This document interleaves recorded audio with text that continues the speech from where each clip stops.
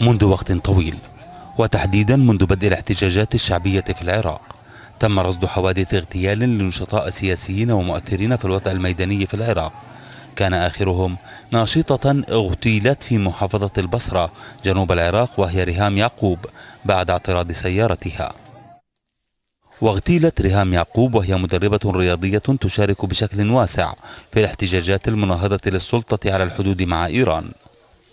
مصادر صحفية عراقية ذكرت أن ناشطين آخرين قتلا فيما نجا ثلاثة آخرون في مسلسل الاغتيالات المستمر في العراق.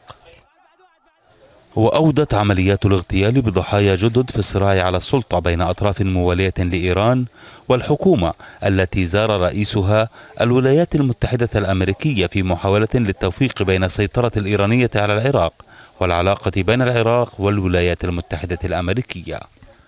السفارات الغربية في العراق عبرت عن سخطها وطالبت السلطات العراقية بالتحقيق من أجل إحقاق العدالة في العراق بعد اغتيال العديد من الناشطين. عمار الحلفي الناشط البارز في الاحتجاجات المناهضة للسلطة في البصرة قال إنه تم قتل النشطاء وعدم اتخاذ إجراء من قبل القوات الأمنية والقضائية.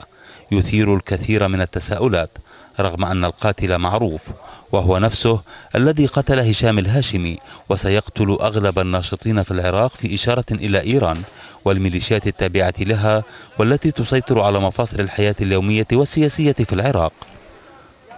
مدير مكتب مفوضية حقوق الإنسان في البصرة مهدي التميمي قال إنه وقعت ثماني عمليات اغتيال وسبع محاولات منذ العام الماضي في البصرة وحدها.